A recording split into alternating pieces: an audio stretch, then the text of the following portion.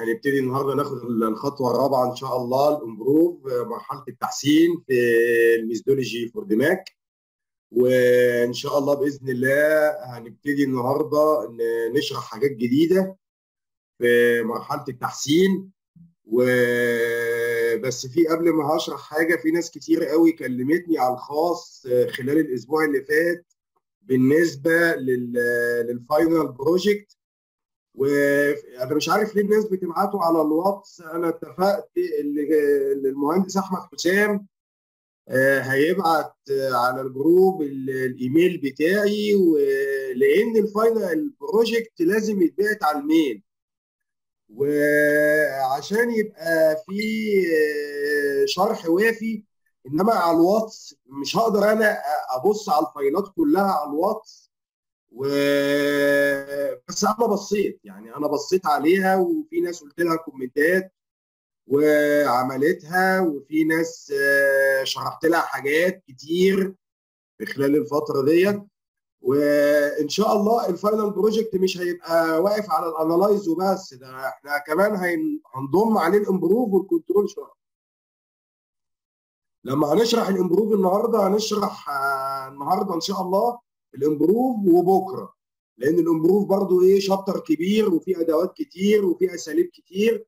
فهنشرح النهارده جزء وبكرة إن شاء الله هنشرح الجزء الثاني في ال improve وأنا هقول لكم على طريقة تستخدموها في ال في ال final project بالنسبة لل improve أنا هسيبها لكم بمطلق الحرية إن أنتوا تختاروا أداة. معينة من خلال الأدوات اللي إحنا هندرسها في ال improve وتطبقوها في مجال عملكم وربنا يوفق الجميع إن شاء الله. فإحنا كده اتفقنا إيه ال final project لسه ما خلص مبدئيا.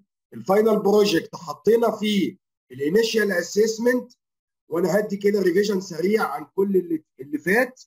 فكل الناس تركز معايا لأن في ناس طلبت مني عايزين نراجع يا هندسة وإحنا لسه داخلين جداد في الكورس. وفي ناس طلبت مني من السودان متهيألي لا إما من السودان لا إما من اليمن مش فاكر. اللي الشبكة عندهم بتاعة النت ضعيفة فهم بي ما بيقدروش يشوفوا الحاجة أونلاين. أو ما بيقدروش يتابعوا لأن الشبكة بتاعت النت هناك ضعيفة فقالوا لي عايزين مراجعة كده إيه سريعة. فأنا إن شاء الله هوافق هستوفي كل الطلبات اللي اتطلبت مني خلال الأسبوع اللي فات ب revision سريع كده قبل ما أخش في مرحلة التحسين الخطوة الرابعة ال improve بالنسبة للناس اللي هي برضو سألتني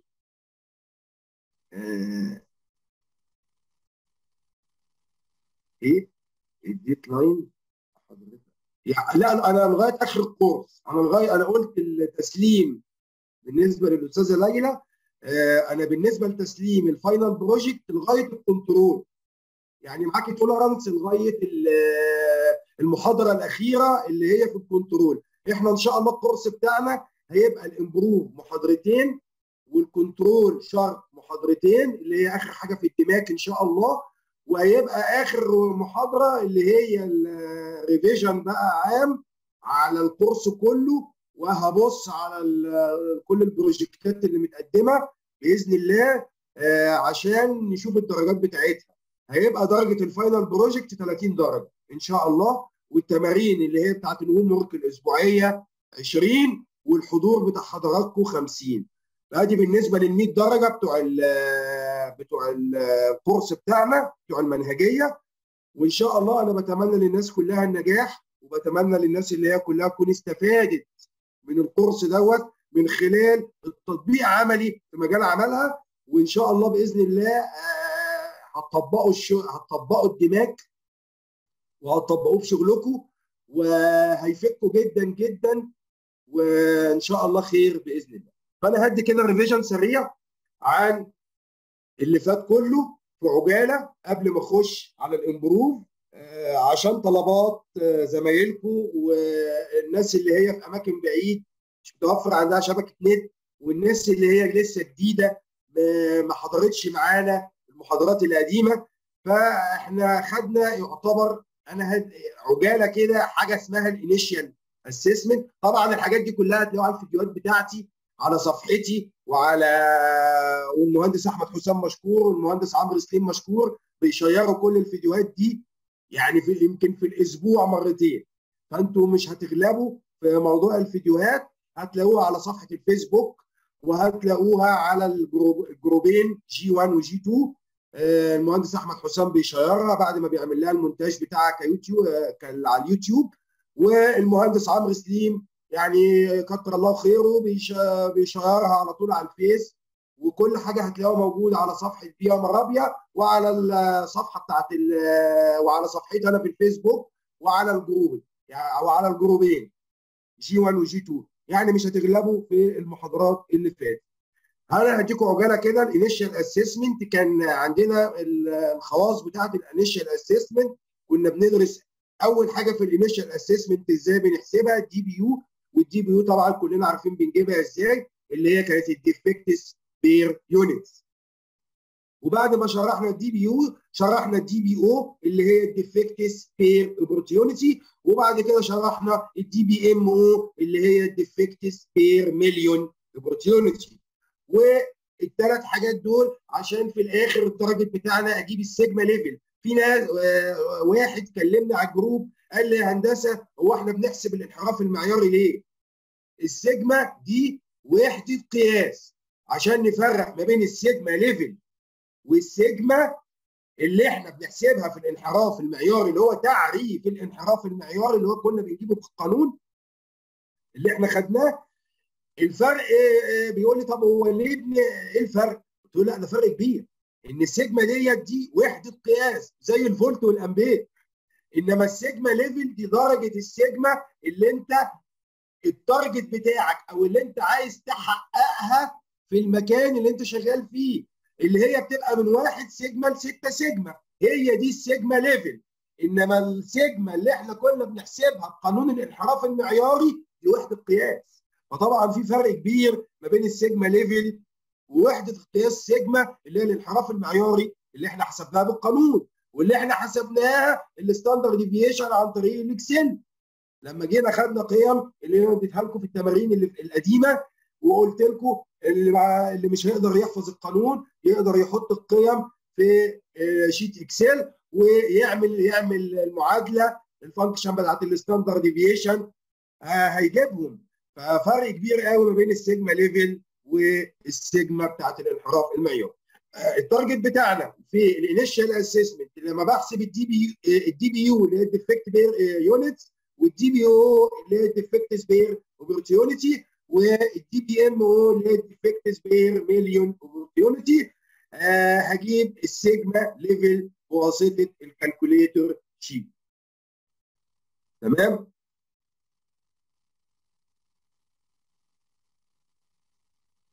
أيوه يا أستاذ علي.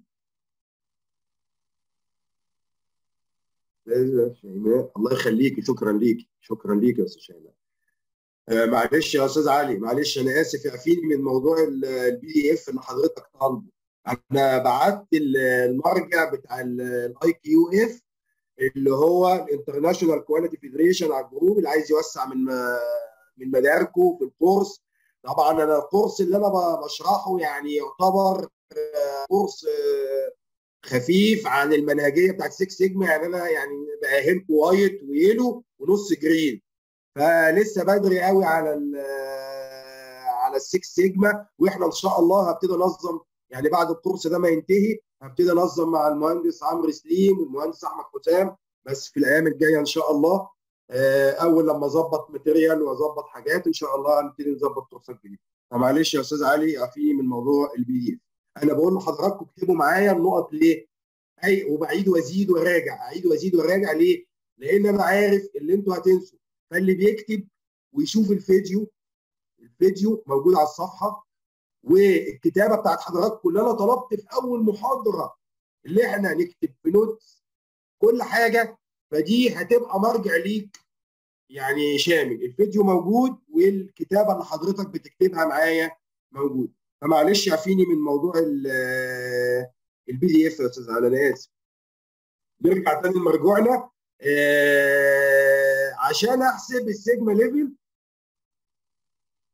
أنا اديت لحضراتكم calculator sheet سهل مبسط. الناس يعني فكروا إزاي يحسبوا ال sigma level عن طريق sheet Excel مبسط. آه بتحط فيه القيم بتاعتك بتاعت ال initial assessment وبيحسب لك ال sigma level على طول بواسطه ال calculator طيب النقطة دي خلصناها بتاعت ال initial assessment دخلنا على موضوع جديد اللي هو ال process flow chart diagram شرحنا ال process flow chart diagram وقلت أي حاجة مكتوب لها diagram يبقى لازم diagram أي حاجة مكتوب لها diagram يبقى لازم نرسم diagram واديتكم الطرق بتاعت الرسم ال diagram لا إما من ال PowerPoint لا إما من ال Excel بواسطه الأيقونة اللي هي اسمها ال SmartArt هنرسم من ال SmartArt أي حاجة في ال diagram هتلاقيها في ال file بتاع ال SmartArt يا إما في ال PowerPoint يا إما في الفلور يا إما في ال Excel هتلاقوها يعني. وال diagram مهم ليه؟ لأن اللي هيكتب على ال Word أو ال Excel كتابه ما بتبينش للي أنت هتشرح له أو اللي أنت هتبين له المعلومة المعلومة كافية. فهو عشان كده سموه diagram يعني مخطط. لازم يترسم مخطط. ارجوكم أي حاجة معمول لها زي ال SIPOC diagram زي ال ال الحاجات اللي إحنا خدناها في الأساليب اللي هي بواسطة ال diagram كلها. ولسه النهارده هناخد أساليب جديدة في ال improve. كلها دياجرامات كلها مصفوفات ودياجرامات فهي تعتبر اللي هي ال six sigma إحصائيات ودياجرامات مخططات فهي عشان كده منهجية بتوضح بتوضح بالرسم. يعني من ضمن العوامل الأساسية في المنهجية التوضيح بالرسم. يعني ده التوضيح بالرسم والإحصاء. يعني هم العاملين دول. المنهجية بتاعت ال six sigma مشهورة بالعمليات الإحصائية الحديثة زي ال Minitab اللي هو يعتبر أحدث من ال Excel والمخططات والرسومات والدياجرامات. فهي العمليات دي كلها العمليتين دول أنت بتستخدمهم في المنهجية من أول ال define لغاية ال control chart بتستخدم العمليات الإحصائية بواسطه ال Excel وال Minitab وبترسم الدياجرامات والأساليب عن طريق ال smart chart في ال PowerPoint وال Excel وال Word. فطلبت من حضراتكم ال process flow chart diagram وكل حضراتكم عملتوه في خلال عملكم بتكتبوا ال process بتاعتكم اللي أنتم بتقوموا بيها سواء كانت خدمات تعليمية أو كانت خدمات عامة أو صناعية ايا كان كل واحد في شغله. في واحد برضه كتب لي قال لي هندسة أنا مش أنا شغال في شركة مية ومش عارف أطبق المنهجية في مكان عملي. إزاي؟ إذا كان الناس اللي هي اشتغلت في المجال التعليمي والأكاديمي عملته اللي هو يعتبر أصعب من مجال حضرتك في المجال. يعني معلش شركة مية هتلاقي عندك في محطات مية وفي فلاتر وفي تنكات وفي process كتير لل final ال final product اللي عندك. فأنت إزاي مش عارف تستخدم منهجية ال DMAIC بتاعت ال Six Sigma؟ أنت لازم هتلاقي عندك في خطوات كتير للتعريف. المشكلة وبعد كده هنخش على القياس إزاي بتقيس الملوحة بتاعت المية وإزاي بتقيس درجة النقاوة بتاعت المية. والحاجات دي كلها يعني ده انت المجال بتاع حضرتك يعني مجال واسع اللي انت تقدر تطبق فيه المنهجية بكل سهولة. وكان معايا ناس في معالجة المية كان مهندسين كانوا في الجرين معايا كانوا في شغالين في محطات تحلية المية والمعالجة كانوا بياخدوا معايا ال course وطبقوه عملوا ال project بتاعهم على أكمل وجه. فحضرتك يعني أنا مش فاهم إزاي أنت مش عارف تطبق المنهجية في مجال شركة المياه. فيعني يعني أكيد فكر في الكلام بتاعي هتلاقيه إن عندك من أول ال define لغاية آخر حاجة ال control أنت عندك الدنيا very عادي. يعني أنت ممكن تطبق أي حاجة أي حاجة أي مجال عمل. الناس بتطبقه في البنوك الناس بتطبقه في المحطات البريد. الناس بتطبقه في في شركات فودافون والاتصالات. الناس بتطبق المنهجية تعتبر في كل الخدمات وفي كل المجالات الصناعية اللي موجودة على مستوى العالم. تمام؟ بعد ما خلصت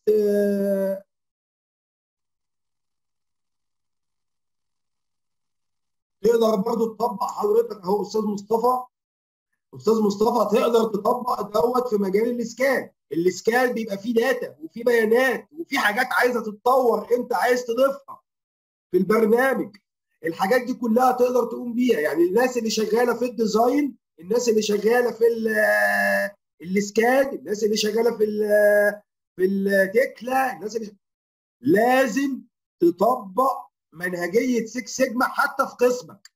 يعني حتى لو انت شغال في الاسكان انت عايز تطور من مجال شغلك. تمام؟ فانت بتبص على ال process كاملة. انت ال final product ال final product عندك برنامج في النهاية. طب البرنامج ده أنا عايز مثلا بدل ما برسمه في ساعتين ارسمه في نص ساعة. فايه ال data اللي أنا هقدر ادخلها واعملها في الايه؟ في في القصة دي. فانت هتقدر تطور آه هتقدر تطور هتقدر. تقلل ال waste عندك والهوادر هتقدر هتقدر تطبق المنهجية بتاعتك هتقدر تطبق المنهجية بتاعتك.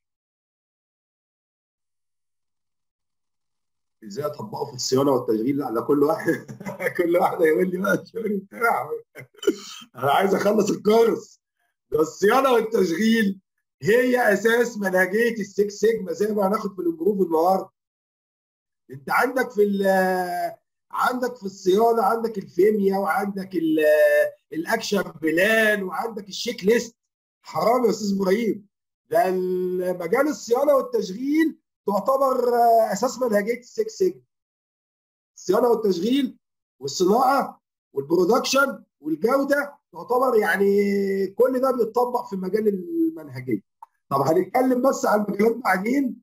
ونخش تاني المرجوعنا على على ال revision لأن كل واحد كده شغال في شغلة هيقول لي يا باشمهندس أسامة أنا إزاي اطبق منهجيه في شغلتي. فهنبص على ال process flow chart diagram ويترسم في diagram كل واحد مراحل شغله إيه. هيكتب من أول ال received لغايه ال release زي ما شرحت لكم إزاي بنعمل ال process flow chart diagram خلصنا ال introduction بتاعتي بتاعت ال initial assessment وال sigma level وال process flow chart diagram هنخش في أول حاجة في الإيه؟ في ال DMAIC اللي هي ال define ال define هعمل ال SIPOC. وعرفنا إزاي نعمل ال SIPOC.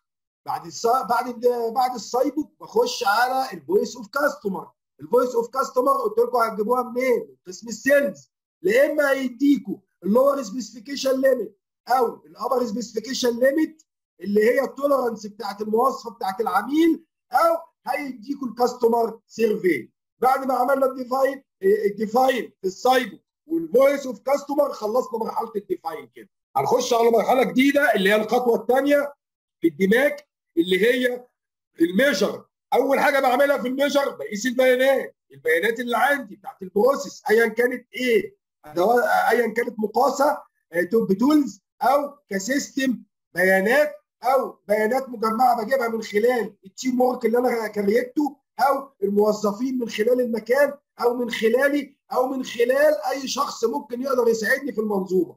بجيب قياس البيانات المجمعة وببتدي أحلل البيانات وأعملها في جدول. دي الخطوة الأولى في ال measure. الخطوة الثانية بجيب برسم مخطط بريتو وبحلل وأشوف العيوب عندي إيه وزي ما أنتم حضراتكم عملتوها قبل كده وبعتوها لي على ال group. وكل واحد رسم خريطة بريتو بطريقته آه سواء كانت على ال Minitab أنا شرحتها بالطريقتين شرحتها على برنامج ال Minitab وشرحتها على برنامج ال Excel. نخش في مرحلة ال analyze اللي الناس كلها سألتني عليه امبارح وأول بالنسبة لل process capability ال process capability باختصار شديد عندي ثلاث علاقات. اللي الناس بتتلخفن فيهم المرحلة الاولى العلاقة الأولى اللي هي ال capable لما تكون العملية قادرة أو عملية شغالة أو صحيحة بتبقى واحد العملية دي بتتم من خلال العلاقة. واحد أقل من ال PPK أو PPK أكبر من واحد. ماشي؟ يا أستاذة شيماء حضرتك معايا؟ أهي أنا هقولها تاني. ال capable لما بتكون الواحد أقل من ال PPK أو ال PPK أكبر من واحد. capable أنا ساعات بقول إن واحد أقل من ال PPK. تمشي. capable أو بعكس. ما بقولش الواحد الأول. بقول ال PPK أكبر من واحد. تمام؟ فهمتي قصدي كده يا أستاذ شيماء؟ تمام. لما تكون الواحد أقل من ال PPK capable ولما تكون ال PPK أكبر من واحد capable هما الاثنين زي بعض. بس أنا قلت دي الأول في محاضره أنا معاك. وبعد كده في محاضره في المحاضرة الثانية قلت دي أكبر. بس أنا قصدي على ال PPK أكبر من واحد.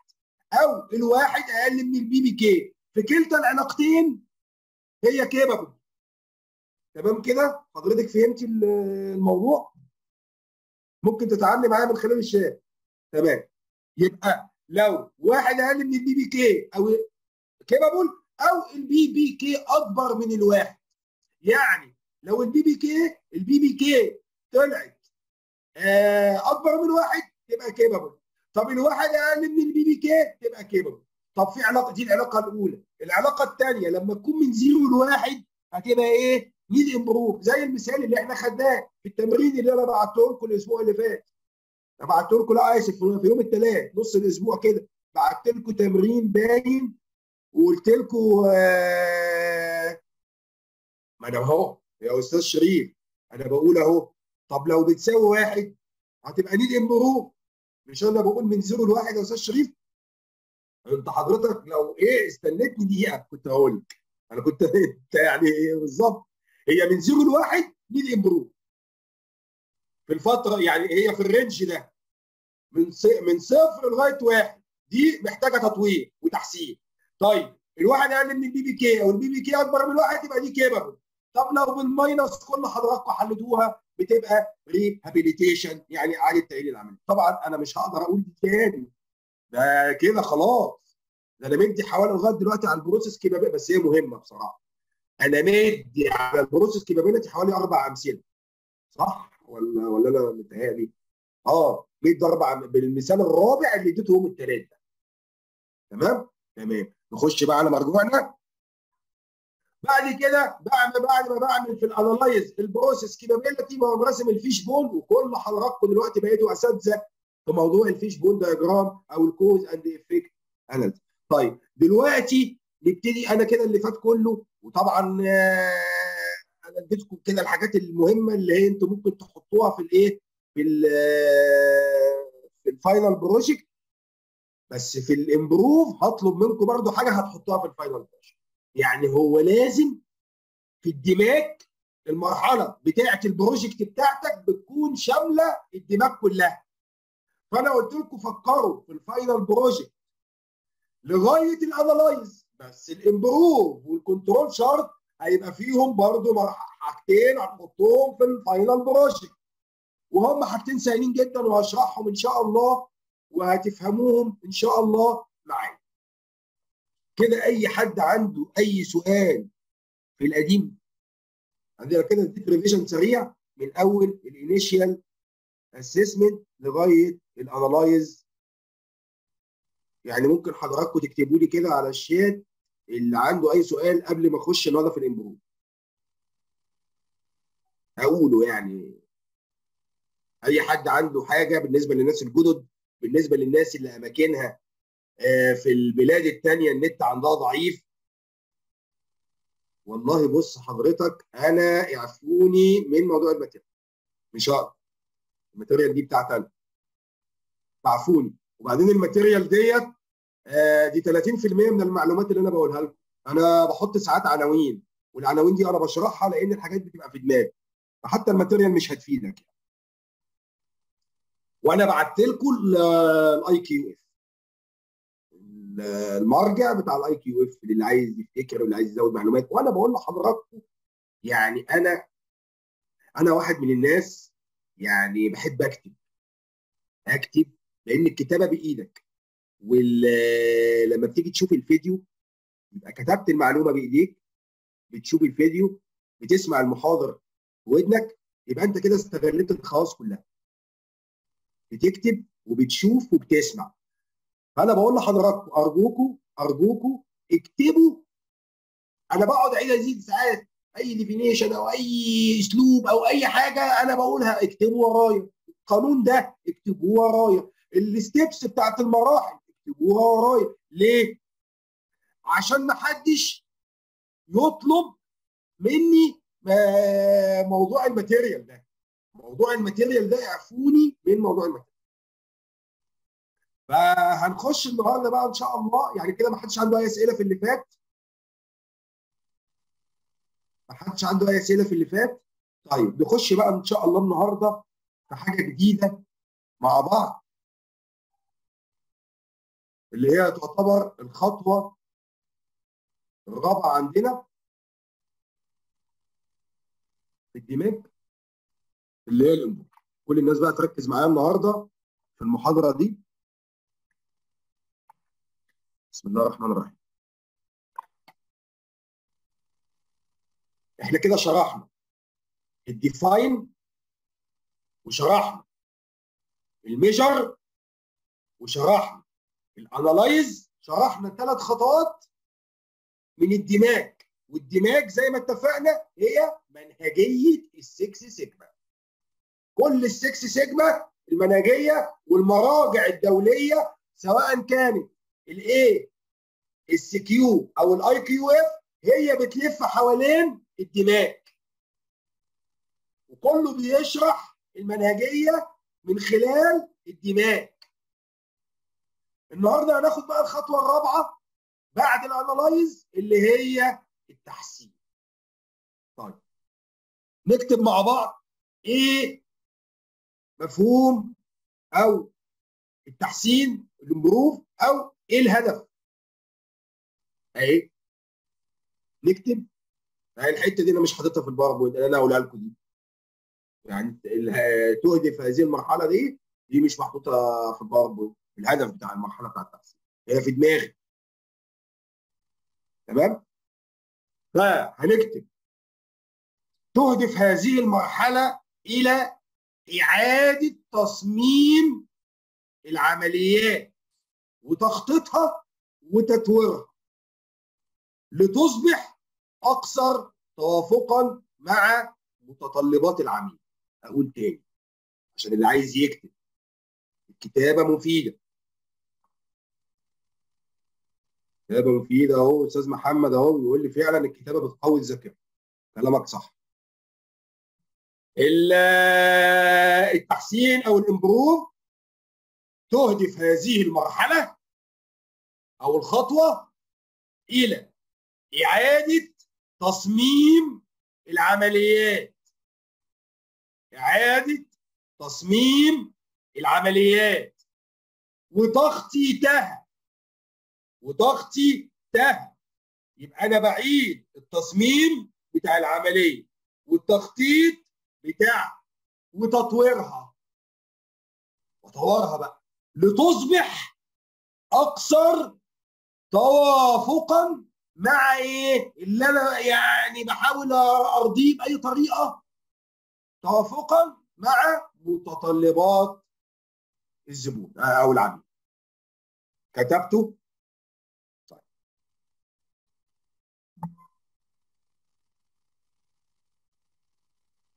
أقول تاني حاضر أقول تاني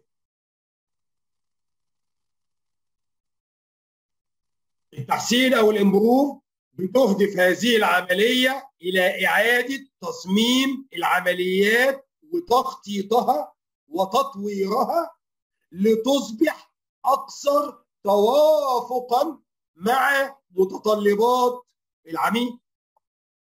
طيب التحسين بيبقى ليه خطوات أو طرق. أنا بنفذها.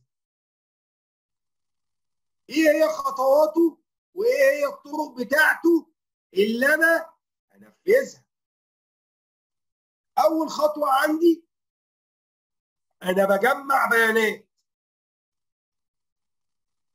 ماشي؟ من تجميع البيانات أنا بوصل لسبب أنا هتكلم كده بالعربي بعد كده هعمل لكم الحاجات اللي الأول بجمع البيانات. الداتا اللي هتفيدني في إيه؟ الوصول إلى سبب المشكلة. يبقى من خلال جمع البيانات من أجل إيه؟ الوصول إلى سبب المشكلة. لإيجاد طرق الإصلاح واختيار أنسب الحلول. يبقى النقطة الأولى في التحسين بعد جمع البيانات والوصول إلى سبب المشكلة يتم إيجاد الاصلاح واختيار بختار بقى الحلول المناسبة. وهنعرف إزاي إحنا بنختار الحلول دلوقتي. أهي. يبقى دي أول نقطة. بعد جمع البيانات والوصول لسبب المشكلة يتم إيجاد طرق للإصلاح واختيار انسب الحلول. أول حاجة في التحسين. طب النقطة الثانية في التحسين. تحديد الوقت المناسب لتنفيذ التحسينات. لازم أحدد. فاكرين لما شرحت لكم ال project ال project charter العقد؟ وقلت لكم العقد بيتحط فيه ال start وال finish بتاع ال project بتاع التحسين بتاعك. ولازم تحدد الميعاد بتاع بداية التنفيذ ونهاية التنفيذ. ده أي عقد في الدنيا كده. بتحط بداية ونهاية للمشروع. تمام؟ فاكرين ولا لأ؟ طب النقطة الثانية اللي أنا أحددها تحديد الوقت المناسب لتنفيذ التحسينات. يبقى دي النقطة الثانية يبقى بعد ما بجمع البيانات للوصول لسبب المشكلة يتم إيجاد طرق للإصلاح واختيار أنسب الحلول. بعد كده بحدد الوقت المناسب عشان أنفذ التحسينات. لازم أختار الوقت المناسب طبعا. هو أنا هاجي في وقت صعب وأقول اللي أنا عايز أحل يعني عايز اعمل تطوير وتحسين والمكان أصلا ما ينفعش إن أنا أطور في الوقت ده لازم أختار الوقت الصح. الوقت اللي أنا عايز أشغل فيه دماغي وأبتدي أنفذ الإيه؟ اللي أنا عايز اترجته معايا أو اللي أنا عايز أخلي المكان يعود عليه بالخير. يبقى لازم أختار الوقت المناسب لتنفيذ التحسينات. دي النقطة الثانية النقطة الثالثه مراعاة أن تكون الحلول عملية وسهلة التنفيذ. يعني لازم أراعي إن الحلول بتاعتي تبقى حلول سهلة وغير مكلفة وعملية. معايا؟ مش اختار حل هيكلف الشركة بتاعتي أو المكان الخدمي اللي أنا شغال فيه أو المكان الصناعي فلوس كتير. وأقول لهم عشان أنا عايز أطور طب معلش يعني هم هيكسبوا إيه من وراك؟ يبقى أنا لازم إيه؟ اراعي النقطة دي لأن لما باجي أعرض الموضوع على ال top management وبقول لهم اللي أنا عايز أحسن في المشكلة الفلانية عشان كذا وهتتكلف كذا وهتاخد وقت كذا. يبقى لازم تقولي تتكافئ. لازم لما بتيجي تعرض المنهجية أو الخطوة اللي أنت عايز بتعرضها على ال top management بتوعك أو رؤسائك في العمل بتبقى محدد الحاجات دي بتجمع بياناتك وعارف انت هتعمل إيه وبعد ما بتجمع بياناتك عارف طرق الإصلاح إيه وعارف أنسب الحلول إيه من خلال ال teamwork بتاعك اللي انت مكريته. وهت... وهتتفقوا على حل مناسب. دي النقطة الأولى. النقطة الثانية بتحدد الوقت المناسب اللي انت تتكلم فيه مع ال top management لازم تحدد الوقت المناسب لإيه؟ اللي انت تعرض فيه الشغل بتاعك. ما ينفعش تيجي في وقت أزمة ينفعش تيجي في وقت فيه مشاكل ما ينفعش تيجي في وتقول أنا عايز أعمل وأعمل وأعمل وأعمل, وأعمل. لا مش هينفع ما حدش هيسمعك. ما حدش هيسمعك. طيب النقطة الثالثه مراعاة أن تكون الحلول عملية. حل عملي يتعمل في المكان مش حل خرافي وهمي. أنت هتقول حاجة لا أنا هجيب الناس بالطيارة الشغل. لا مش هينفع. أنت لازم تقول حل عملي. وسهل التنفيذ وغير مكلف. تمام؟ دي النقطة الثالثه في طرق التحسين. آخر نقطة التنفيذ. لو وصلت للثلاث حاجات الأولانيين أجمع بياناتي وأوصل لسبب المشكلة والطرق بتاعة الإصلاح وأختار الحل الأنسب وبعد كده أشوف الوقت المناسب اللي أنا هعرض عليه الطريقة أو الحل بعد كده براعي أن تكون الحل اللي أنا اخترته ده عملي يتعمل يتنفذ وسهل التنفيذ وغير مكلف. بعد كده اتكلم بقى مع الناس وتنفذ اللي أنت اتفقت عليه مع ال teamwork بتاعك. أي سؤال في الحتة دي؟ ممكن اللي عايز يسأل يسأل.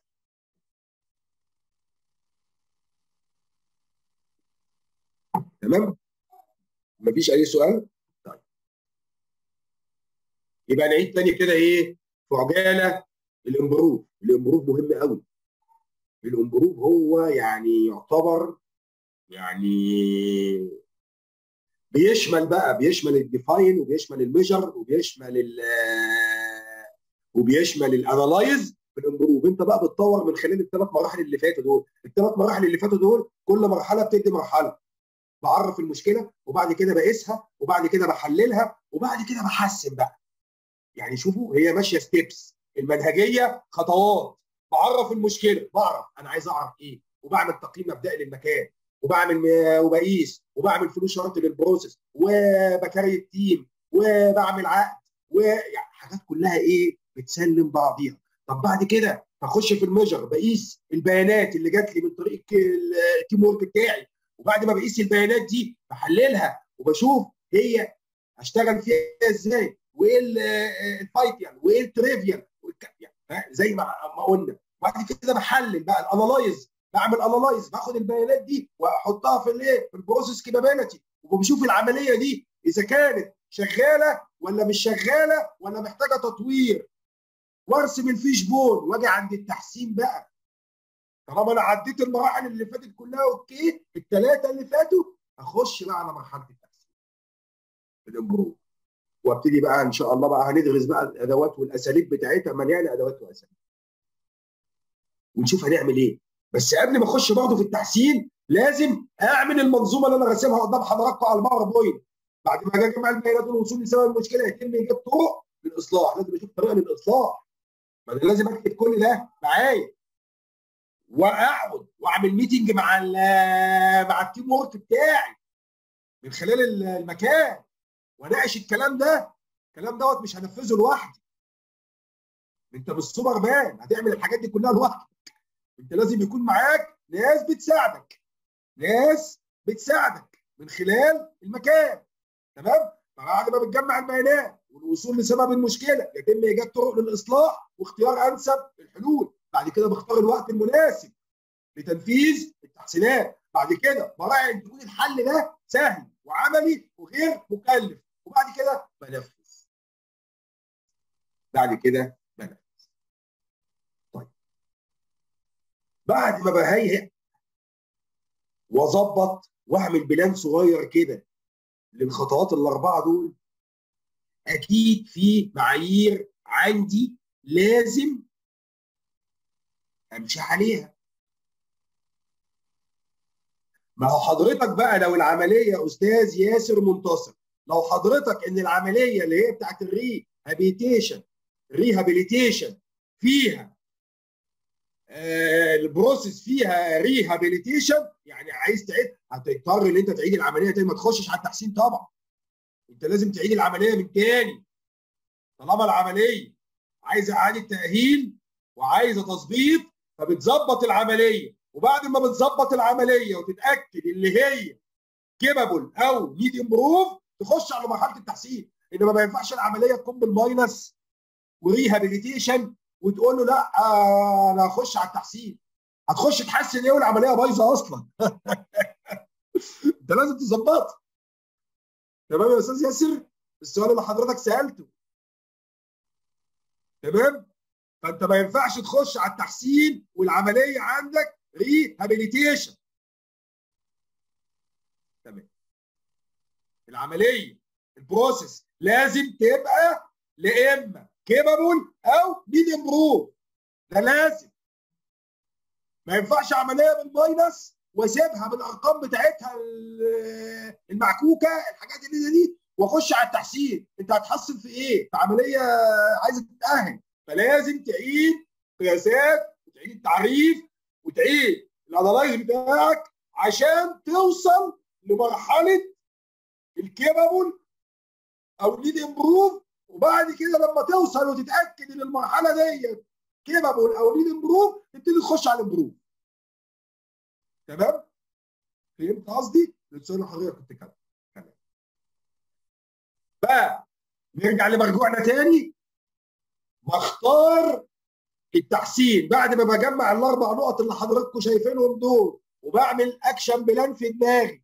ال action plan من خلال الأربع نقط دول. وبدا بظبط ال action plan من خلال notes بتتكتب برضه. عن طريق Word عن طريق Excel عن طريق PowerPoint أنت ما بتخشش تعرض بتقول كلام وبس لا أنت بتكتب البيانات اللي أنت جمعتها وبتكتب طرق الإصلاح وبتشوف الحلول وبتكتب الحاجات ديت في من خلال ملف PDF من خلال ورق بشوف انت هتقدمه إزاي. من خلال PowerPoint ايا كان العرض اللي انت هتعرضه على ال top management ما بتخشش تتكلم مع ال top management ببقك لا. ده في ورق في ورق في ملف في emails بتبعت عليه في آه presentation بتعملها على ال PowerPoint لازم يكون العمل مهدف عشان تقدر تشرح وجهة نظرك إيه أو تقدر تقنع اللي قدامك بالتنفيذ. تمام؟ تمام. بعد ما بعرض الأربع نقط دول وبعمل ال action plan ببتدي بقى أخش على المعايير. إيه هي المعايير اللي أنا هحسن بيها؟ طبعا لازم أعمل جدول عشان أحط المعايير دي. زي ده.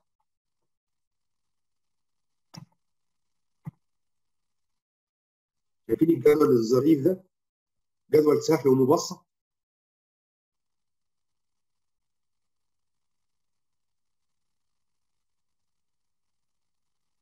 لا ما هو ال improve ده يا أستاذ علي هي تعتبر آخر مرحلة عندك خلي بالك ال control chart في الدماغ انت بتراقب التحسين. يا أستاذ علي لما بتوصل لل improve ملوش improve. لما بتوصل لمرحلة ال improve ملهاش improve. ليه؟ لأن المرحلة اللي بعد ال improve ال control chart التحكم. انت بتراقب ال improve.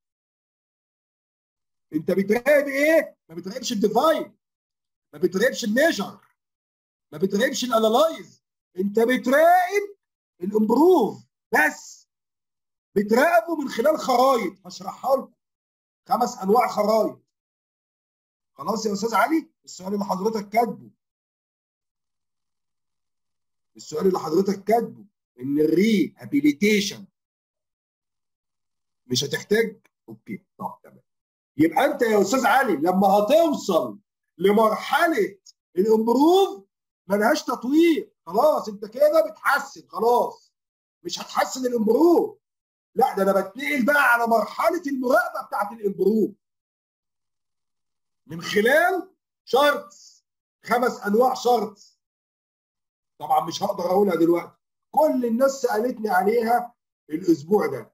يا هندسة ال upper control limit وال lower control limit. قلت لهم والله أنا هشرحها لكم في ال control. الناس مش مقتنعة إن أنا هشرحها ليه مش عارف. مش هينفع أشرحها دلوقتي لازم تتشرح في ال control. ال upper control limit وال lower control limit. دول خمس أنواع خرايط يبقى فيهم ال upper control وال lower control. الخمس أنواع دول بتبقى فيهم حاجات خاصة بالأعداد وحاجات خاصة بالخواص. فما جاء يعني حاجة كبيرة يعني chapter كبير فمش هينفع ان أنا أقول لكم معلومة وخلاص. مش هينفع إن أنا أقول معلومة وخلاص مش هتفهموها. فإن لما بوصل لل improve تأكد خلاص هي دي تعتبر آخر تحسين. أنت بتحسن بقى دلوقتي أهو. المرحلة اللي بعد ال improve مراقبة ال improve من خلال charts وال charts ديت نوعين. هتبقى للأعداد والنوع الثاني للخواص. هفهمها لكم إن شاء الله لما نوصل له خلاص السؤال بتاع حضرتك يا أستاذ علي؟ طيب. هنعمل الجدول ده بعد ما بحدد الأربع نقط الأولانيين بتوع ال improve اللي هو ال action plan اللي أنا حطيته في دماغي وكتبته بعد كده بفكر الأول. بعد كده التفكير بتاعي ده بعمل زي PDCA. فاكرين PDCA؟ بفكر. بعد كده أه بنفذ. بعد كده باخد الأكشن. بعد كده بقى إيه؟ خلاص بقى. بكتب بقى كل حاجة بقى أنا فكرت فيها من خلال ال teamwork بتاعي اللي أنا اجتمعت معاه واتكلمنا بقى في كل حاجة وخلاص بقى حطينا النتائج وكتبنا كل حاجة بخش بقى على المرحلة والحاجة بقى تانية بقى ببص على ال action plan ال action plan اللي هو اللي أنا بجمع البيانات وأوصل لسبب المشكلة ثم إيجاد طرق الاصلاح واختيار أنسب الحلول. اثنين تحديد الوقت المناسب لتنفيذ التحسينات. ثلاثة مراعاة أن تكون الحلول عملية وسهلة التنفيذ وغير مكلفة. وأنفذ. وأنا بنفذ هعمل الجدول ده. وأنا بنفذ هعمل الجدول ده. معايير همشي عليها. طب إيه المعايير اللي أنا همشي عليها؟ أحط هنا التكلفة الإجمالية للتطوير. أول بند.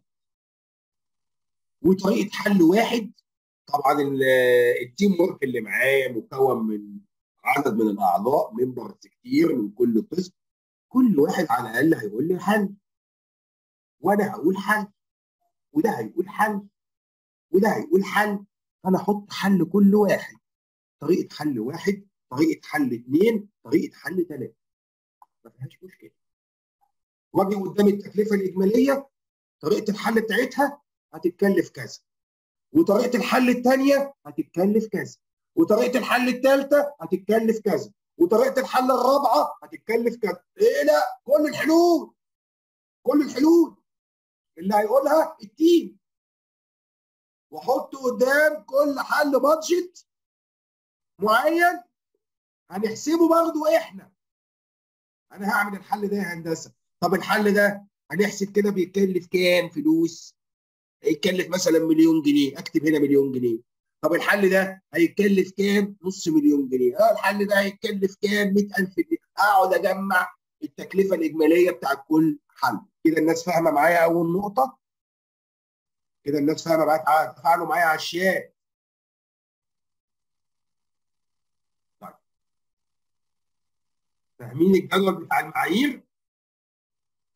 الكلام ده مهم جدا خلي بالك الكلام ده مش نظري. الكلام اللي أنا بقوله ده مش نظري. الكلام ده مهم جدا. ده بيبقى action plan بيتاخد. طيب. بعد ما بشوف التكلفة الإجمالية أخلص من البند ده أخش على التأثير على المشكلة. طب الحل الأولاني بيأثر على المشكلة بكام في المية؟ هيحل المشكلة كام في المية؟ 80 90 واكتب كل التأثير كل نسبة من دي. طيب يبقى ده المعيار الثاني المعيار خلي بالك المعايير دي من وجهة نظري أنا. أنت ممكن تضيف معايير ثانية لو أنت عندك معايير ثانية تقدر تضيفها. مفيش مشكلة. كل واحد بيحط المعايير من وجهة نظره. ومن وجهة نظر التيم اللي معاه ووجهه نظر شغله كمان. هو شايف إيه في شغله؟ كل واحد ادرى بشغله كل واحد بيبقى ادرى بشغله كل كل واحد كل شيخ له طريقة. هو كل واحد فعلا ادرى بشغله أنا شغلي في المكان ده المكان ده أنا عارف إيه اللي هيمشي فيه وايه اللي مش هيمشي فيه. صح؟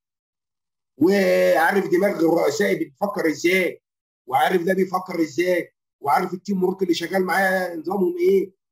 انت ممكن تحط معايير مناسبة لشغلك عادي لمكانك لمكان شغلك. المعايير دي بالنسبة لي أنا كمهندس اسامه مصطفى. أنت عايز تضيف معايير يعني المعايير دي مش ثابتة. المعايير اللي أنا حاططها دي مش ثابتة. هتحطها وعايز تضيف عليها ماشي. بس أنا خلي بالك يعني إيه المعايير دي هي المعايير تعتبر 98% من المعايير اللي بتتقاس. اللي أنا حاطه ده كم معيار دول؟ 98% من المعايير اللي في الأماكن الصناعية والخدمية والتجارية وكل الخدمات. هو كله بيقيس على اللي أنا حاطه ده. أنت عايز تضيف؟ من وجهة نظرك معيار تاني مش لاقيه أنا حاطه هنا ضيفه. عشان ما يجيش حد يكتب لي في الشاي في الجروب هندسة لا والله دي أنت كتبت لنا حاجات معينة إحنا هنمشي عليها. لا الحاجات المعينة دي اكتبها ولو عايز تضيف عليها ضيف. كل واحد شايف من وجهة نظر شغله في مكان. طيب التأثير على المشكلة الحل الأولاني بيأثر كم كم في المية على المشكلة؟ الحل الثاني كذا الحل الثالث كذا. وقت التنفيذ. طريقة الحل الأولى هتاخد وقت قد إيه؟ في التنفيذ. وهتاخد وقت قد إيه في الحل الثاني ماشي؟ الفاعلية. الفاعلية بتاعت الحل الأول. فاعليتها قد إيه؟ هتفعل ال... هت... هتتفاعل معايا بقد إيه؟ خدت بالك؟ والحل الثاني والحل الثالث وهكذا. الصحة والأمان والبيئة. طب المنافع غير التكلفة. يعني المنفعة هستنفع بكام وتكلفة المنافع دي كام؟ يعني أشوف المنافع غير التكلفة وأشوف المنافع غير الوقت. المنافع دي اللي هتعود عليا. من الحل الأولاني هاخد سنة. طب الحل الثاني لا هاخد 8 شهور. بس في منافع هتاخد وقت كذا والمنافع دي هتاخد وقت كذا. تحط كل المعايير اللي انت شايفها مناسبة. في شغلك مجالك. آه أستاذ أشرف فتحي كاتب سؤال حلو قوي بيقول لي هندسة يعني الحلول ممكن تبقى ثلاثة والله ممكن تبقى 10 ممكن تبقى 20 ما هو انت teamwork ده في teamwork معاك. مش هيقل عن 10 تنفار 7 تنفار. شوف انت كم قسم عندك في الشركة لما هتاخد من كل قسم. one member هيخش معاك في تنفيذ المنهجية بتاعت ال Six Sigma. يعني على الأقل يعني مفيش حد عنده في شركته أقل حاجة ست أقسام مثلا سبع أقسام. هيبقى معاك على الأقل ست أقسام سبع أفراد ايا كان ال team اللي معاك. كل واحد هيقول له حل. فممكن تزيد عن ثلاثة طبعا يا أستاذ أشرف. كل شخص أنت نفسك ك leader team هتقول حل هتحط تمام يا أستاذ أشرف؟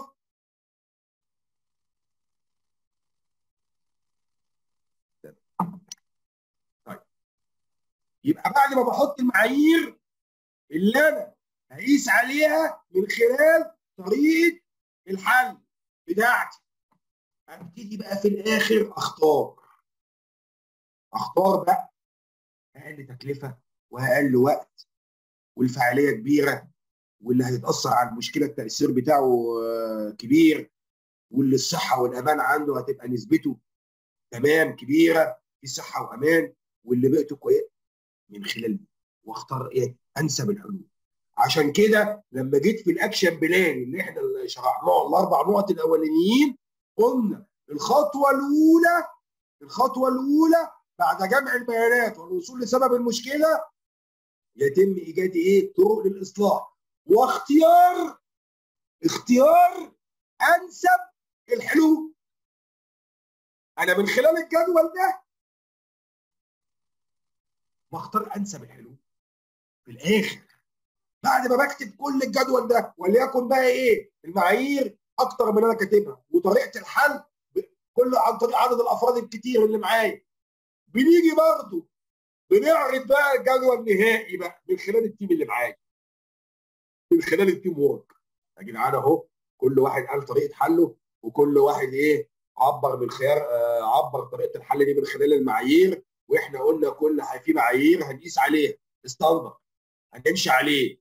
طيب إيه الكلام؟ هنختار إيه؟ الحل هيبقى إيه؟ طريقة الحل اللي إحنا اخترناها الأولانية هتبقى إيه؟ طب الثانية ونختار إيه؟ طريقة الحل المناسبة لحل المشكلة. تمام؟ يبقى عرفنا المعايير وطرق الحل. تمام. حد عنده سؤال في جدول المعايير وطرق الحل؟ كله تمام؟ طيب. بعد ما هنحط المعايير وطرق الحل. كل ده action plan قبل ما تعرض الكلام على ال top management طيب. أكيد لسه بقى أستاذ شريف أسر دايما بيستعجلني. لسه هقول أكيد في أساليب وأدوات هستخدمها. في مثال. ده في مش مثال.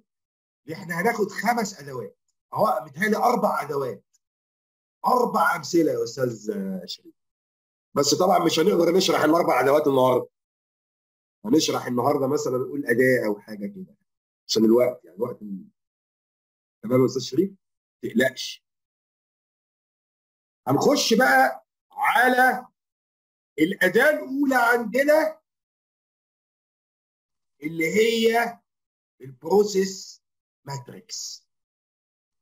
مصفوفة العملية. إيه هي مصفوفه العملية أو إيه اللي أنا بعمله أو إيه هو هدفها و... هنقول شوية حاجات وأنتم مش هتفهموها دلوقتي الا لما أحط رسمة كده وهشرح الخمس نقط اللي أنا هقولهم على إيه؟ الرسم وبعد كده هدي case study عليه زي ما عايز أستاذ شريف. وبعد ما هدي ال case study هنشوف الدنيا فيها كل الناس بقى تركز معايا عشان ال process matrix هي يعتبر أول أداة عندنا في ال improve هناخد ال process matrix tree diagram ال action plan 2 5 why and 2 how.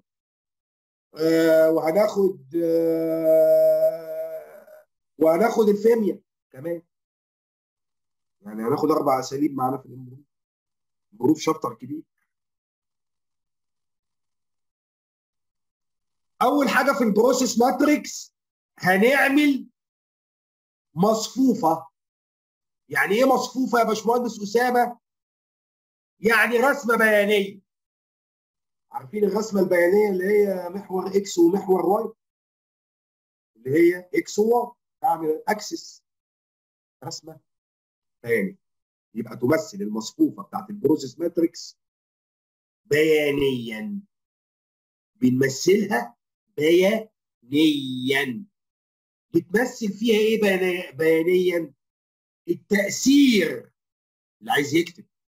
اللي عايز يكتب.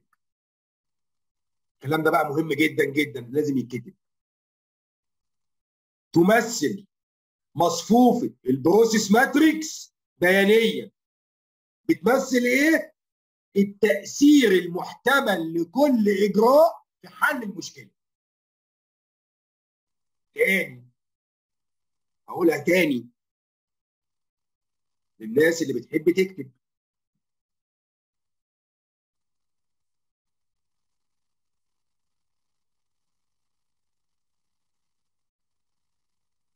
الفاعلية اللي يعني بص يعني هم ممكن يا أستاذ أحمد إن الفاعلية زي نفس حاجة التأثير على المشكلة يعني أنت كلامك صح. إيه الفرق ما بين الفاعلية والتأثير على المشكلة. التأثير على المشكلة أنت ممكن الحل دوت يبقى 10% الحل 10% أو 20% أو 50% الفاعلية بقى يعني الفاعلية بتاعه الحل ده يعني هو ممكن يبقوا الاثنين زي بعض. يعني أنت لو من وجهة نظرك عايز تشيل كلمة الفاعلية اللي أنا حاططها دي وتحط التأثير على المشكلة صح. مفيش مشكلة. عادي يا أستاذ أحمد. ما أنا بقول لك كل واحد ليه وجهة نظر من خلال المعايير. كل واحد ليه وجهة نظر. أنت حط المعايير من وجهة نظر. طيب نرجع تمام؟ نرجع بقى المرجوعنا تمام يا أستاذ أحمد؟ قبل ما اخويا عشان أكمل ال process matrix. تمام؟ أنت عايز تشيل الفاعلية وتخلي التأثير على المشكلة؟ ماشي. أنا قلت المعايير دي مش ثابتة. المعايير مش ثابتة يا أستاذ أحمد. ماشي. ممكن الفعالية إجمالي في العملية. اللي أنت عايزه. ممكن الفعالية فعلا إجمالي في العملية. صح. ما هي وجهة نظر. هي بتبقى المعايير دي وجهة نظر يعني. فنرجع تاني لمرجوعنا عشان الكلام اللي أنا هقوله مهم جدا جدا يعني. يبقى أول حاجة في أول أداة أو أسلوب عندنا في ال improve أول أداة أو أسلوب عندنا في ال improve ال process matrix طب إيه هي ال process matrix؟ أو أول نقطة في ال process matrix هي تمثل المصفوفة بيانيا. ال process matrix بتمثل المصفوفة بيانيا.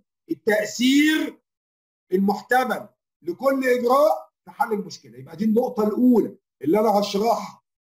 في الرسم البياني في ال process matrix.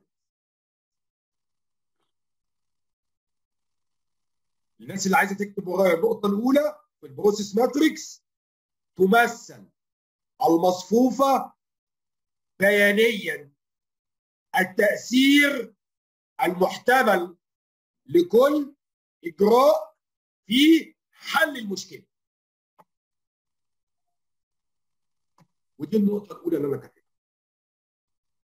تمثل المصفوفة بيانيا التأثير المحتمل لكل إجراء في حل المشكلة.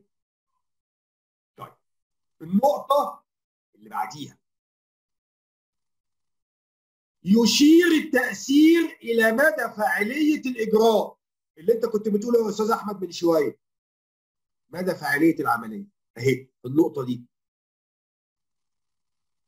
كنت حضرتك بتسألني عن الفاعلية صح؟ أهي النقطة دي بقى شرحت الفرق ما بين الفاعلية والتأثير على المشكلة من خلال ال action plan اللي إحنا من خلال قصدي المعايير اللي إحنا حاطينها في ال improve يبقى التأثير هو أهم حاجة عندي. التأثير على مدى فاعلية الإجراء في حل المشكلة اللي هو دايما بيبقى في المحور ال Y. مش أنا عندي X أي رسم بياني أو أي axis بعمل X Y. طيب ال X ده هتبقى الجهد أو الوقت. وال Y اللي هو التأثير. ال Y اللي هو التأثير بيأثر في إيه بقى؟ بيأثر في ال cost بيأثر في البرا... آه في ال variety بيأثر في ال في ال في ال flexibility بي... هنشرح الكلام ده دلوقتي. معايا؟ النقطة الثانية الناس اللي عايزة تكتب.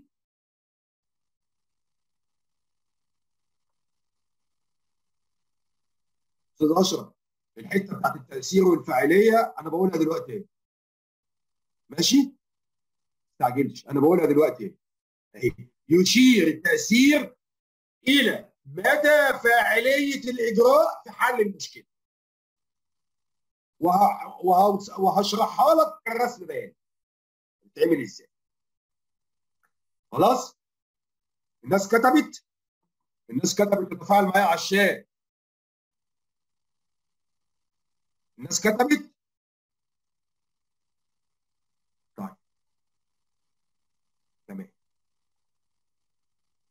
النقطة الثالثة يبقى إحنا خدنا المصفوفة بتتمثل بيانيا عن طريق X و Y النقطة اللي بعديها إحنا قلنا إن ال X ده هيبقى إيه؟ الجهد أو الوقت المستغرق في التنفيذ وال Y اللي هي التأثير. طب إيه هو التأثير؟ اللي هو ال cost اللي هو ال variety اللي هو ال flexibility اللي هو أي حاجة بتأثر على العملية. أي أي حاجة بتأثر على العملية التأثير اللي إحنا بنحطه في المعايير. ماشي؟ نكمل. النقطة الثالثه تحليل الجهود المبذولة لكل إجراء محدد في خطة العمل في ال action plan اللي أنا كنت لسه شارحها من شوية. تحليل الجهود المبذولة لكل إجراء محدد. طب الجهود المبذولة دي اللي أنا بكتبها فين؟ في الإكس. في الإكس. إحنا اتفقنا في جهود مبذولة في ال X وال Y. التأثير اللي هو ال volume بتاعي. طيب هنيجي بقى في الجهود المبذولة دي هنحللها. وهنعرف هنحللها إزاي في المصفوف. هنعرف هنحللها إزاي في المصفوف. نكتب بقى تحليل الجهود المبذولة لكل إجراء محدد في خطة العمل. تمام؟ دقيقه واحدة بس. هتفهم كل حاجة. يا أستاذ ياسر بعد ما أكمل الخمس نقط ونخش في في الرسم البياني والكيس ستادي هتعرف كل اللي مكتوب ده إزاي أنا هفهمه ما تقلقش. يبقى النقطة الثالثه تحليل الجهود مبذولة لكل إجراء محدد في خطة العمل. تمام. النقطة اللي بعديها الرابعة يشير الجهد. الجهود المبذولة دي بعد إيه؟ بتمثل إيه؟ يشير الجهد إلى الوقت المستغرق والاستثمار المطلوب والموعد النهائي لتنفيذ الإجراء. يبقى كل الجهد ده بيشير لإيه؟ لوقت. الجهد بعمل جهد كبير يبقى بوقت كبير. جهد. بيشير إلى إيه؟ الوقت المستغرق والاستثمار المطلوب والموعد النهائي لتنفيذ العملية الإجراء. والموعد النهائي لتنفيذ الإجراء. هو ده الكلام اللي أنا كاتبه في الموضوع يشير الجهد. كل الكتابة دي الخمس نقط دول الأربعة دول النقطه الخامسة اللي لسه هتتشرح هتبان جدا في الرسم. هتبان جدا في الرسم. يبقى يشير الجهد إلى الوقت المستغرق والاستثمار المطلوب والموعد النهائي لتنفيذ الإجراء. طيب النقطة الخامسة والأخيرة المصفوفة بتاعت ال process matrix دي بنسميها ساعات مصفوفة التأثير في المجهود. يبقى تعطي مصفوفة التأثير في المجهود الأولوية للحلول التي لها تأثير كبير على المشكلة وجهود منخفضة لتحقيقها وكل ده برضه هيتشرح بتعطي مصفوفة التأثير في المجهود. الأولوية تدي أولويات في المصفوفة. هنا أولوية أولى بعملها. بعد كده أولوية ثانية كل ده هيبان في المصفوفة دلوقتي اللي أنا هشرحها بعد الصفحة دي على طول. الحلول؟ التي لها تأثير كبير على المشكلة وجهود منخفضة. انت عندك الجهد المنخفض ده يعتبر ممتاز. أنا بعمل تأثير عالي في الإجراء بجهد قليل. فده اللي أنا بختاره بريورتي أول. وده هيبان في الرسم. وده هيبان في الرسمة البيانية اللي أنا هقولها دلوقتي. طيب لما بيكون الجهد عالي والتأثير منخفض يبقى دي أولوية أخيرة. ما ابصلهاش وده برضه هيبان في الرسمة اللي أنا هقولها دلوقتي. نص التأثير والجهد على أنه إما مرتفع أو منخفض. برضه ده هنقوله في الرسمة البيانية اللي إحنا هنشرحها دلوقتي. يبقى التأثير نصنف بنصنف التأثير والجهد مرتفع ومنخفض. من خلال المرتفع ده أولوية أولى والمنخفض ده أولويته اخيره آه الناس اللي عايزة تصلي بالنسبة للبلاد الثانية آه تبتدي تسجل الحضور. الحضور. اتفضلوا. الناس اللي عايزة تصلي في البلاد الثانية بحسب التوقيت بتاع كل بلد. اتفضلوا. هتلاقوا إن شاء الله بعد المحاضرة هتلاقوا الفيديو موجود على صفحة آه على الصفحة بتاعتنا في الفيسبوك. خلاص؟ طيب. نصنف التأثير والجهد على إنه إما مرتفع وإما منخفض. أدي الرسمة اللي أنا بقول لكم عليها. كل الناس تركز معايا في الرسمة دي. دي رسمة شكل. لسه ال case study أنا عندي هنا إيه؟ في المحور X الجهد. محور X الجهد. لو الناس عايزة تصورها كده من خلال الموبايل صورها وهنا التأثير بتاعي. يبقى أنا عندي X جهد وال Y تأثير. أنا ال reference بتاعي التأثير. اللي بيأثر في مدى فاعلية الإجراء. السؤال بتاع أستاذ أشرف. السؤال بتاع أستاذ أحمد. أهو. بان بقى مدى فعل مدى الفاعلية هنا بقى أهي. مدى الفاعلية بان أهو. أنا عندي process عايز اعمل ال process عايز اعمل ال process matrix بتاعتها. ال process matrix بتتعمل لا إما المشكلة لا إما المشروع لا إما حل لا إما أسباب ايا كانت اللي أنا عايز اعمل له مصفوفة. ايا كان اللي أنا عايز اعمل له مصفوفة. مشروع مشكلة حل أسباب ايا كان. بحطها هنا إيه؟ في ال process matrix. وبحط ال subject هنا على الشمال. كده. باجي أعمل الرسمة البيانية إكس واي إكس واي. اعمل في ال X الجهد واعمل في ال Y التأثير. أصنف الجهد على إنه منخفض وعالي. وأصنف التأثير على إنه منخفض وعالي. هو ده النقطة الأخيرة اللي إحنا كنا بنقول فيها إيه؟ بنصنف التأثير والجهد على أنه إما مرتفع أو منخفض. بنصنف التأثير والجهد. بيبتدي بالمنخفض ويمشي للعالي ويبتدي بالمنخفض تحت ويطلع فوق في الواي في العالي. تمام؟ يبقى أنا كده صنفت الجهد والتأثير منخفض وعالي وصنفت التأثير منخفض وعالي. أنا هختار إيه بقى؟ أنا عندي ال reference بتاعي المرجعية بتاعتي للتأثير العالي. فكل ال process والمراحل أو الأسباب اللي فوق دي هي الأولوية الأولى. أهي أولوية عالية افعلها كل الأولوية العالية افعلها اللي هو لما يكون التأثير عالي والجهد منخفض أنا عندي جهد قليل وتأثير عالي. أهو أختار ده. هو ده اللي الأولوية الأولى بتاعتي. هي دي الأولوية الأولى بتاعتي المصفوفة. تأثير فعال. تمام سرعات تمام خلاص؟ يبقى الأولوية الأولى بتاعتي للمصفوفة في process 6 و process 3 و process 2 دول أولوياتي. ليه أولوياتي؟ تأثيرها عالي. وجهدها إيه؟ قليل. منخفض فانا أعمل دي الأول. بتحدد أولوياتك. بتحدد ال priority بتاعتك. ال priority بتاعتك يبقى اللي على الشمال دي هي priority 1 في التنفيذ. افعلها الأول اعملها الأول. طيب.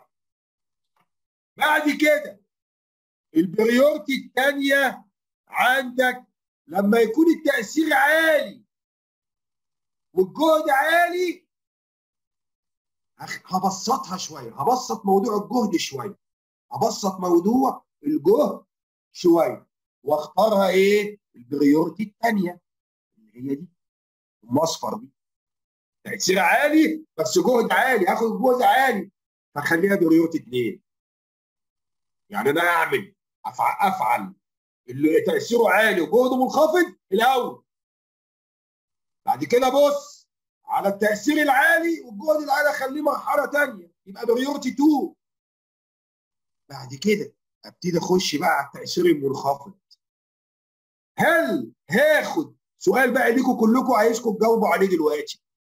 وارجوكم كلكم تكتبوا لي على الشات الإجابة. البريورتي 3 هاخدها. تأثير منخفض ولا جهد منخفض ولا تأثير منخفض وجهد عالي؟ يعني أنا دلوقتي خدت الأولوية الأولى التأثير العالي والجهد المنخفض والأولوية الثانية التأثير العالي والجهد العالي. هاخد الأولوية الثالثة. أنهي؟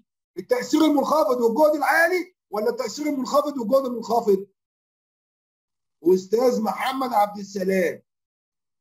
تأثير منخفض وجهد منخفض. تمام. الله ينور عليك. تمام. أنت كده فهمته. تمام. تأثير منخفض وجهد منخفض. كله تمام. حلو قوي ما أخدش التأثير المنخفض والجهد العالي. وأنا أستغرق وقت طويل ليه؟ جهد عالي يعني وقت طويل استثمار وقت على الفاضي فناخد التأثير اللي أقل بالظبط. كل الناس كده إيه الله ينور عليكم جميعا. خلي بالك. يبقى أهم حاجة عندي يكون التأثير عالي. الأولوية الأولى والجهد منخفض. بعد كده أبص على التأثير العالي الثاني مع الجهد العالي أولوية ثانية وأحاول أبسط وأقسم الجهد. بعد كده الأولوية الثالثه التأثير المنخفض والجهد المنخفض. بعد كده الأولوية الرابعة اللي هو التأثير المنخفض والجهد العالي اللي أنا بحاول أسقطه. أنا كاتب أهو إسقاط أو تجنب. يعني برميه خالص من حساباتي. واحط أولوية أخيرة في التنفيذ. إسقاط أو تجنب. كل الناس فهمت المصفوفة؟ كل الناس فهمت ال process matrix؟ يلا عشان اديك case study عليه عشان هختم النهارده إن شاء الله. خلاص؟ ندي ندي بقى case study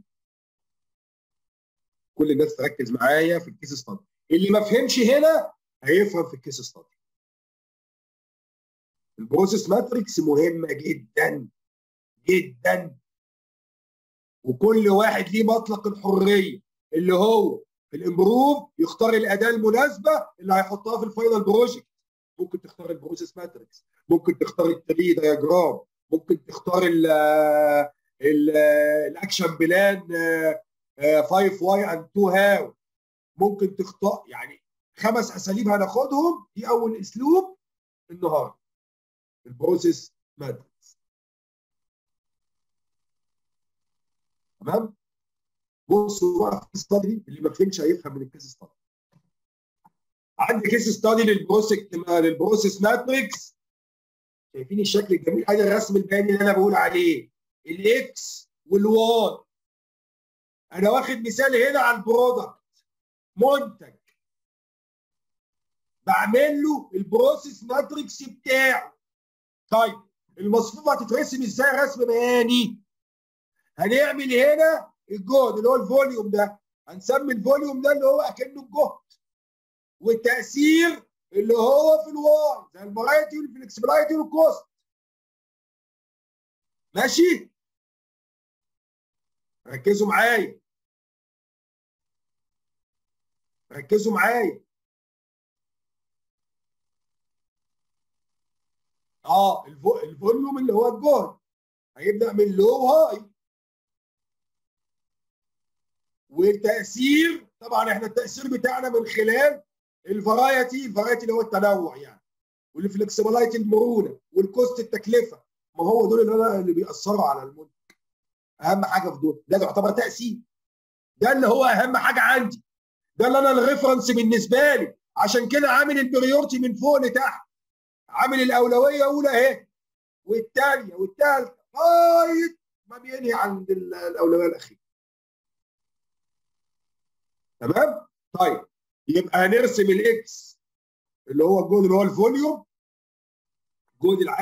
الجهد بادئ أهو low الأول زي منخفض وبعد كده ال high وبعد كده بالنسبة للتأثير وهنا بيأثر من ناحية ال variety وال flexibility وال cost من low و high بعد كده ال project building custom home دي أول حاجة اللي هو عايز يعمل منزل مخصص للمعيشة. فده مشروع مهم.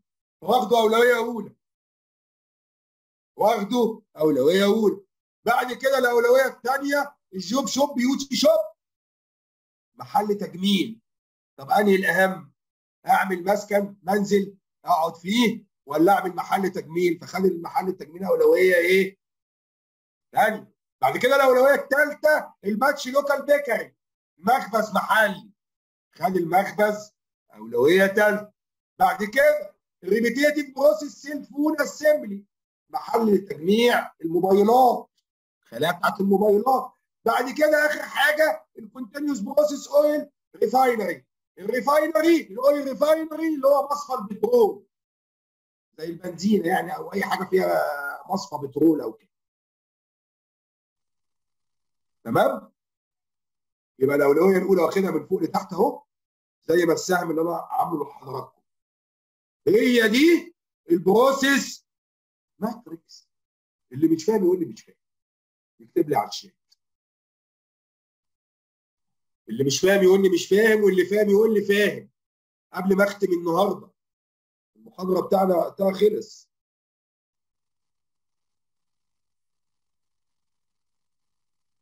تمام. الله ينور عليك. طب الحمد لله. آه يا هندسة أستاذ أشرف لازم تترسم رسم بياني. أنا قلت أهو ال process matrix فاكرين أول نقطة قلتها في المصفوفة؟ تمثل المصفوفة بيانيا. أهي. أنتوا بتكتبوا معايا. الحمد لله كله واضح. أهي. هنرجع تاني. أهي لأول نقطة. أول نقطة. تمثل المصفوفة بيانيا التأثير المحتمل لكل جرعه بنمثلها بياني. لازم تعمل ال X وال Y بياني. نرجع تاني لل case study أنا قلت لكم اللي مش هيفهم الكلام هيفهم من الرسمة. واللي مش هيفهم من الرسمة من شرح الرسمة هيفهم من ال case study بتاعت ال product process matrix فهمتوا؟ طب الحمد لله. كده هنختم النهارده إن شاء الله. أي حد عنده سؤال؟ ان ميعادنا بكرة إن شاء الله. في نفس الميعاد. بإذن الله. الساعة 9 بتوقيت القاهرة مصر.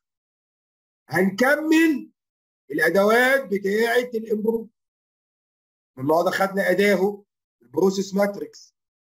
بكرة إن شاء الله هناخد tree diagram مخطط الشجره وهنفهم إزاي بنعمل مخطط الشجره ايا كان جهد. ال volume حجم جهد ايا كان الوقت يعني. تيجي بأي معنى يا أستاذ شريف؟ المهم التأثير بيبقى في ال Y والجهد بيبقى في ال X. وأنت دايما ال reference بتاعك ال Y لأن هو التأثير هو المرجعية بتاعتك. تمام؟